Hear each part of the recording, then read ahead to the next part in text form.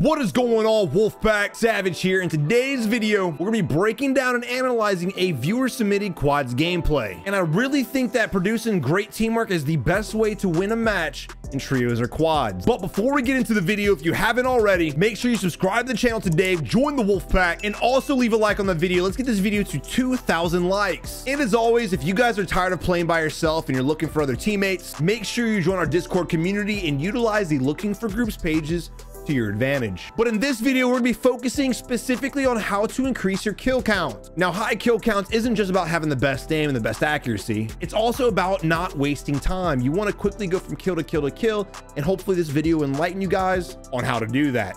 But without further ado, let's go ahead and dive into the video. I gotta clean my glasses off real quick. I was getting shit on by DMRs all day, so there's a little bit of tear residue on my glasses lens. We got to get this shit off real fast so I can see properly. All right, looks like we're dropping downtown. I'm not a huge fan of downtown. However, it's not a bad spot to go to. And it looks like there's gonna be a lot of people going here as well. So this, this is gonna be a pretty good hot drop, I think. Not to mention bank, definite because all the money here. Grab a gun on the rooftop. I love the fact, and a lot of you newer players don't know this. This is gonna be one of those moments where a lot of you guys are gonna be looking at me like, Savage, I already knew that, you stupid asshole. But for those of you that are newer to the game and haven't found out this information yet, I want you guys to notice how he picked up an LMG and he didn't have to go through that entire animation bullshit and waste the time. He literally wide wide the gun, which canceled the reload animation, and he was ready and able to absolutely blow these two assholes away. All right. Got RPGs being shot at us. Sick. I guess he's on the roof, I would imagine. There's a guy floating in right there. Might be able to beam him out the air. Look at all this shit. Look at all this, guys. We got people slow falling in parachutes too. And, I, am trying to beam this message across to the world. Stop floating in your parachute for a long period of time. Turn off auto parachute, drop, and right before you're about to hit the ground, pull your chute. You may break your ankles a couple times. Doesn't mean you turn it back on. It means you just get better at pulling the chute at the right moment. This shit right here, if we weren't an immediate threat, if someone wouldn't have shot at us with a rocket launcher, we could have killed the guy to our left-hand side relatively easy. Maybe not the guy back there by the building because of the gun we have, but if anyone has a sniper, it's an easy kill as well. Stop allowing yourself to sit here and float right over compounds because you're going to get blitzed out the sky. Also, shameless plug number one. Don't forget to purchase sneak energy. This shit is the truth. All right, we got two enemies in front of us. Now, instead of pushing down there, I would definitely scan the area first. Homeboys, come. Don't do that. This this is a shit. Bro, I'm gonna take that. you know what like little kid, bro. We literally just finished talking about slow parachuting in, and here this guy is pulling a chute and just flying around like it's somebody's business. Then he's surprised how he got shot out of the air. It's not that hard. It really isn't that hard. Once you get good with your aim and accuracy, guess what? Easy beams. But now we. Yeah, he heard it. It's not that serious. It's just a game. You'll be all right. All right, but here we have the squad over here, and I don't know if it's one or two or not because we saw two guys on the outside. There's a guy right here. They may be separated. It may be two teams. Just be ready for it. All right, so that was a squad wipe. Was... Yeah. Oh, dude, whenever I kill people, the guys that I kill, I don't know if it's because they're mostly streamers and tryhards and sweats, but they never have any death chat. The only time I hear death comms are when I'm spectating you guys. No one ever talks in my lobbies. It was like people are mute or some shit. All right, so now we're in a position where we have $6,100. It looks like they're looking for money, so I'm assuming someone dropped the sack somewhere uh, that probably would have been able to give us our loadout. Green did pick up a bounty that happened to be right next to him. Also, when you're running from place to place, make sure you're slide canceling, and because you have an LMG in your hand, swap to your pistol. You want to try to move when you're in the open as fast as possible the fact that we're kind of slowing down and it looks like he's actually getting shot at right now, we just put ourselves in a vulnerable position and just to be kind of slow walking with an LMG. I definitely would switch to my pistol and start and start sprinting and slide canceling for sure. That way we can get our teammate up and then we can successfully get to safety ourselves.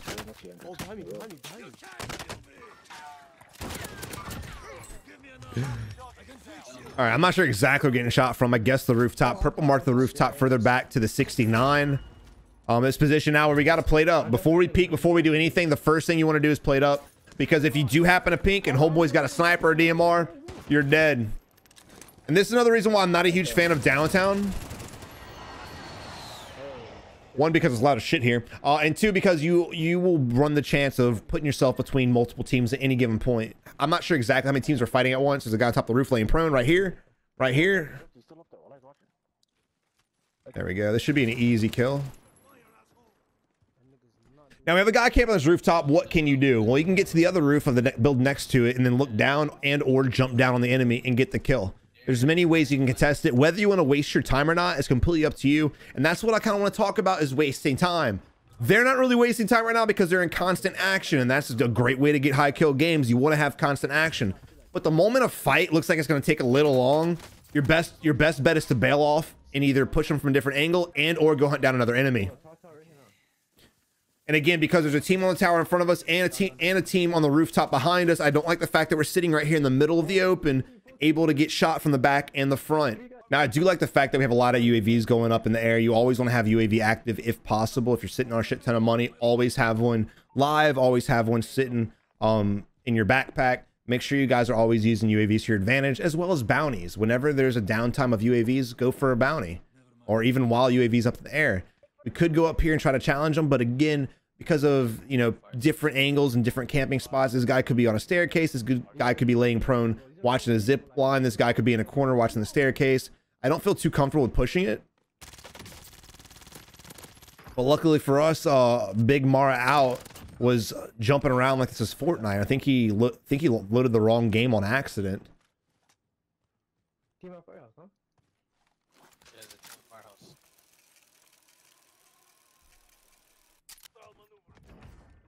All right, MP goes ahead and gets the team wipe over there. So whatever the team they were fighting originally is dead. Our guy, I think, was by himself. Um, and he's dead as well. And here we are, heart beating on the rooftop. I guess looking for the guy that we just killed's team. But I, again, I don't believe he had any teammates near him just based on the way he was playing, laying prone on rooftops and bunny hopping around like it's Fortnite. Weird, weird gameplay. Oh, wait, you up there? No, I'm on the roof, roof.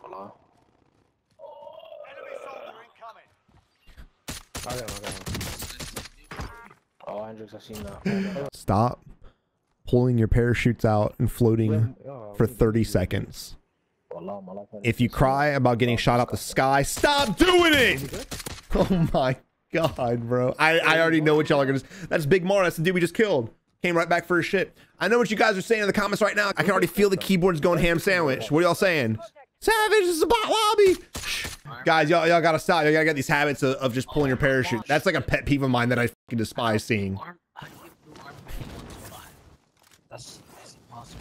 Probably more than one. But we do need to get to our team for sure. We need to help our teammate out in whatever fight they're in because the faster you can win a fight, the more fights you can pick. Win the fight, move on to the next. Win that fight, move on to the next. The longer that we're in this tit for tat, getting down, getting res, getting down, getting res, and we're not getting kills, the longer the fight's going to take, the longer the fight takes, the less amount of kills we're going to get in the match. With saying that, however, you don't want to be super aggressive. There are times you got to slow it down. And I'm not sure exactly what the team's position is right now as far as how they're fighting or who they're fighting because we can't see what's going on. But again, we need to be working our way to our teammate right now and, and helping them win this fight instead of looting. We really don't need loot right now. We have money as a squad. We have enough money to get two more UAVs in if necessary. We need to focus on the fight, get it won. That way we can move out. We have a great angle on the rooftop though, which is awesome. I don't know if we can make that float. If we get the down on this rooftop, you think you guys think we can make that float? It's gonna be close. You're gonna have to long parachute, which I tell you guys don't do, right? There's a down. Now all we gotta do right now is bait. That's it. Just just wait for his teammate to come out and go for the res. That's all you gotta do. Now you gotta be careful. You don't want to sit up on the ledge too long because again you're vulnerable from other from other areas and other rooftops. So I'm not a huge fan of sitting up there the entire time, but for some reason nobody's challenging us. Nobody's even trying to shoot at us. I don't think anyone knows we're up here.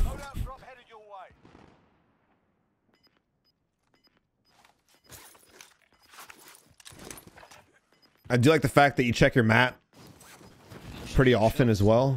That's a very underutilized tactic. The map is there for a reason. Make sure you guys are pulling it up and always keeping your eyes on what's around you, especially if you have a UAV in there or if you hear gunshots. Whenever I hear gunshots at all, I'll pull up my mini map to see if people are popping up on the mini map and then ping where they're at. A lot of viewers that send me games um, don't ever pull up their map one time. And that's drastic. And that's a huge mistake because, again, you can see so much on your map of what's going on because not everyone has Ghost on. In fact, the majority of the players on the server usually die without Ghost. There's another guy long parachute. All right, so here we are gonna help our team in this fight. Um, I'm not sure exactly what it is. Could be a 2v4. We're not, we really have no idea what the hell's going on. Got to the right hand side. He's above you. Yeah, yeah, yeah. Let's go, let's go. What did you think was gonna happen, fam? You're laying on a staircase. All right, so here we are now. Um, 10 kills. We have enough money to get a UAV for sure, but I would also pick up a bounty. I would fly from this rooftop, go to the rooftop across, grab the bounty that's sitting right here. Meanwhile, my teammates take my money and go ahead and buy UAV also. I'd like to have two in the air, especially since we're downtown and the edge of the circle is going to be around us. We're going to have a lot of people rotating in from the hangars area, from train station. It's about to get popping. So you guys want to get a UAV up? You want, guys want to get a bounty up and kind of hit two birds with one stone. I got my goals. Give me money, give me money. Niggas are rotating. Oh, burger, burger, burger, burger. I uh, like the call outs for sure. So when you're playing as a squad, guys, and I know I know it sounds like a broken record when I talk about teamwork, but I see it too often. So many times people are just not utilizing teamwork to their advantage. They'll end up shooting at the enemy, trying to get the kill themselves, and they won't actually call out the enemy's location. You guys need to start calling out where the enemies are at before you start shooting. Ping them, especially that way we can get a live ping if we don't see exactly what you're talking about. And stop putting yourself in a bad position trying to run over people. That guy there literally tried to run over an enemy, or run over our teammate, I should say, and then he ran to a pole. Look at the parachutes! All right, but here we are going up to the high ground. We got our DMR, so if we can maintain the high ground, we can actually provide a little bit of suppressive fire and cover on our team. I'm not sure exactly what the angle is going to be. We got a good one, actually. Look at this guy. This guy right here should know exactly where we're at, but still he's sitting on the rooftop completely exposed. Remember, guys, pay attention to your hit indicator. The enemy there literally wasn't paying attention to shit, and that's why he got downed.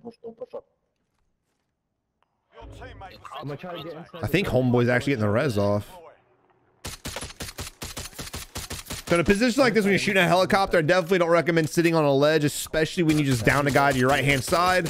You reveal your position, you put your body on the ledge, revealing it to the enemy just downed and his teammate that's probably up there getting the res off right now. Um, again, I'd probably be more focused on the guy down and baiting his body more than the helicopter. But if you want to focus on the chopper, use the ledge as a protection and uh, then shoot at the helicopter for sure. The whole point of fighting is you want to try to fight one enemy at a time. You never want to put yourself in a position where you're going to have to fight multiple teams at the same time. Here we go. Long parachuting asshole. No, no, not yet. One sec. He's bottom of the building on the left-hand side where the archway is. Still there. He's got to follow the tracers. Where, where? So I'm not sure exactly Okay. What the hell this enemy team is doing? I'm gonna be honest. Oh, one is on, one is on the bottom of, it actually looks like it's multiple teams. Eli's right here. Eli's right there. He's running. He's running. Cancel that. I'm moving. So yeah. Again, I don't mind us peeking over the ledge, but you kind of want to like keep your body moving at least. That way, when you get shot, you can at least jump off the ledge and be protected by it. Okay, there we go. Again, putting yourself on a ledge just exposes you to everything around you. You need to be very careful because if you go down right now, your team's not gonna be able to get you. You will die. You don't have a self res. Um, the chance of your team being able to survive in the gas, going up the staircase, going up the um, elevator shaft. Elevator shaft might work, but it's gonna be a very close call.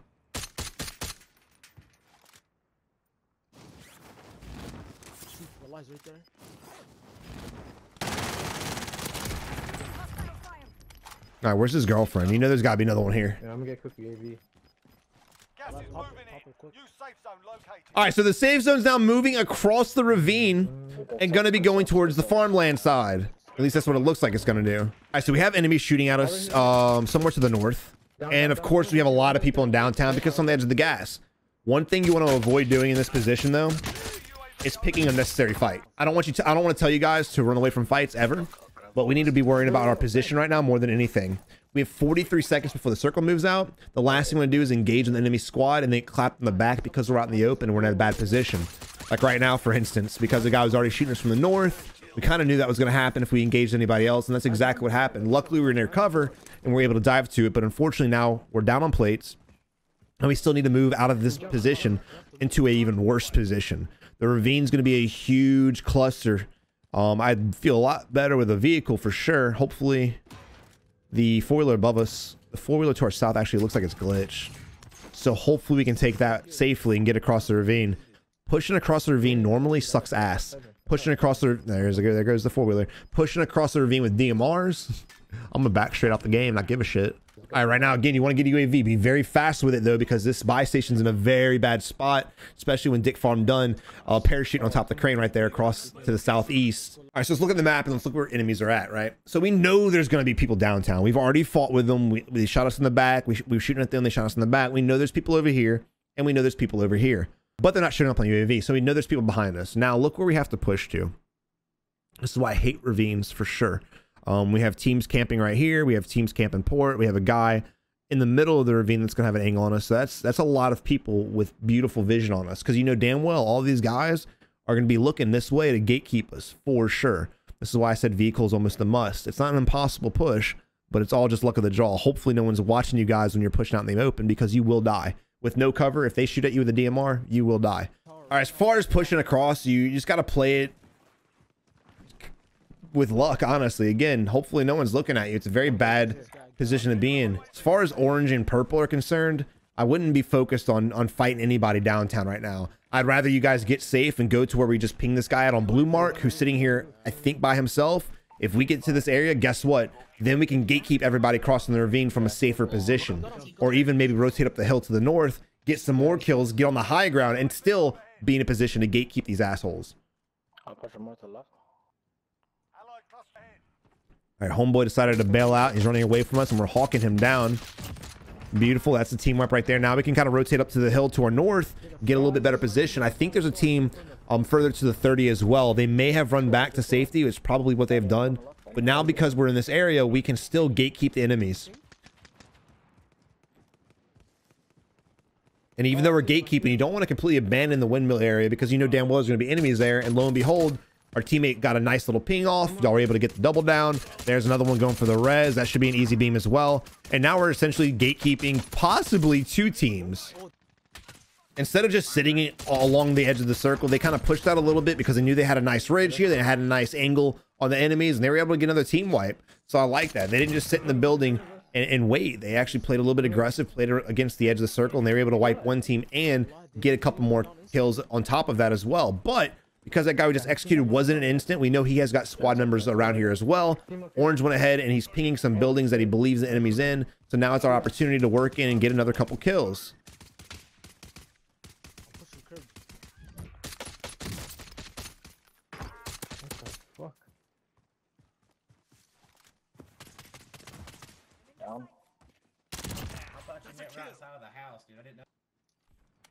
Where's the other guy down? Fucking didn't, didn't even all right, I, I, love that too, guys. Again, with teamwork, they're marking everything. Whether they see him or not, they mark it if they think he's there. They mark it if they find him on a heartbeat. They mark it if they see him. They, they mark it just to allow their teammates to give them some kind of like heads up.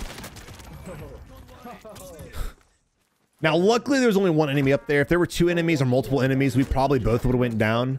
Um, but we did bulldoze through and we were able to get the kill, so it ended up working out. But just be very careful pushing staircases together because you can body block your own teammate and get them killed, which is, I think, what happened, honestly. I think our teammate was trying to back out of it, and he couldn't because we were right there.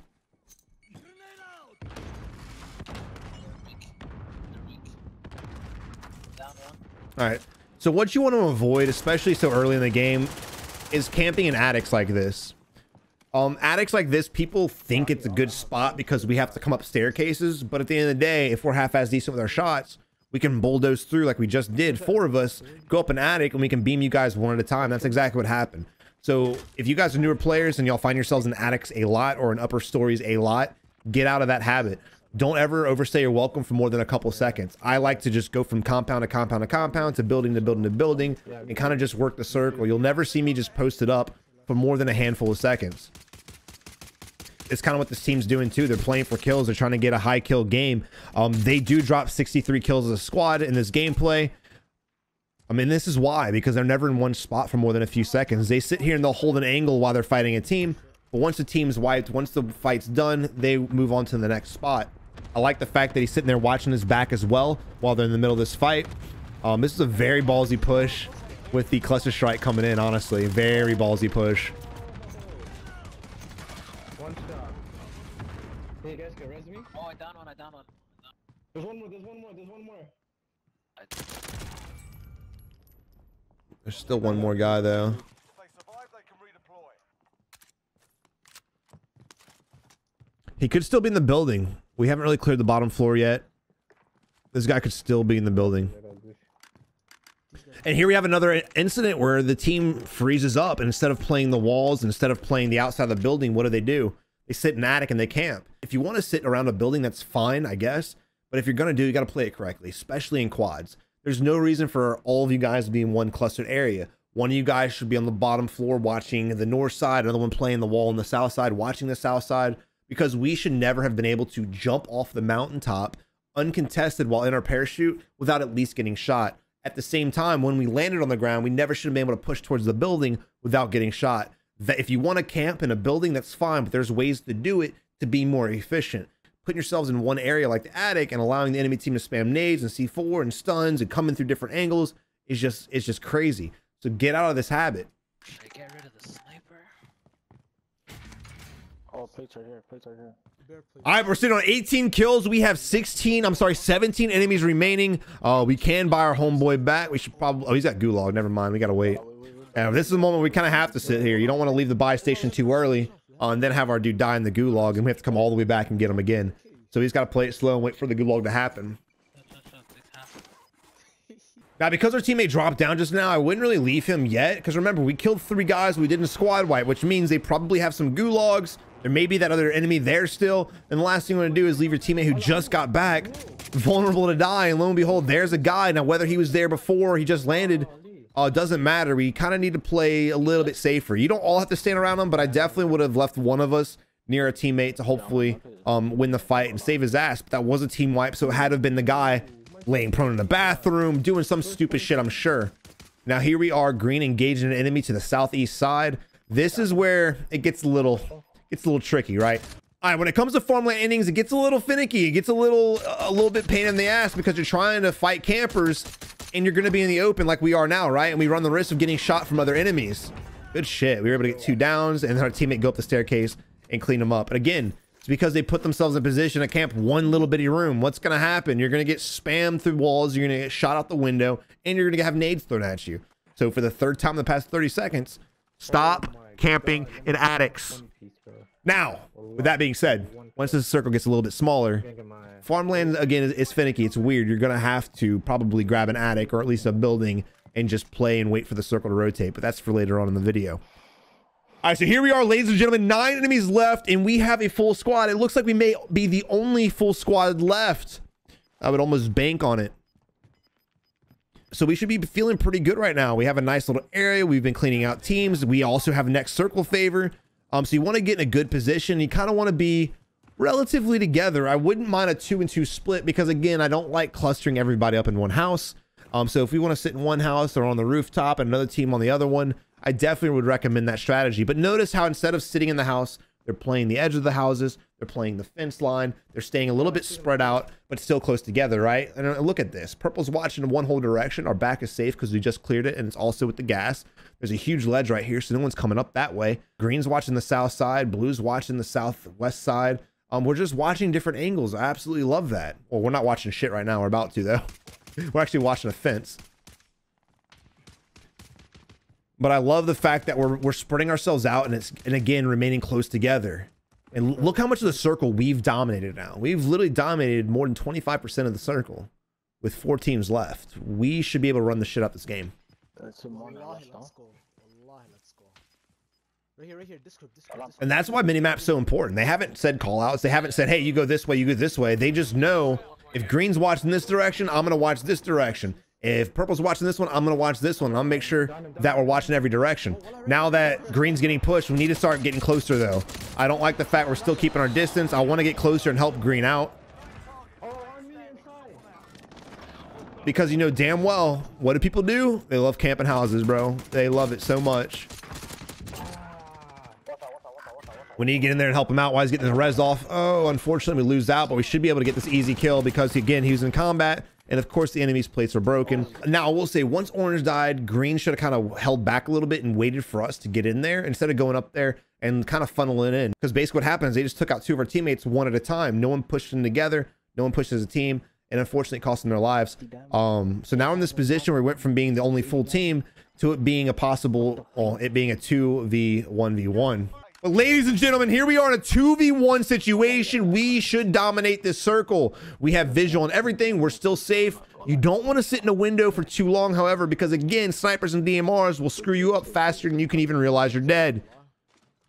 We want to keep our eyes on everything. I like how he's scanning the window, going from side to side, trying to look at every angle, seeing if, seeing if he can catch an enemy trying to rotate into the zone.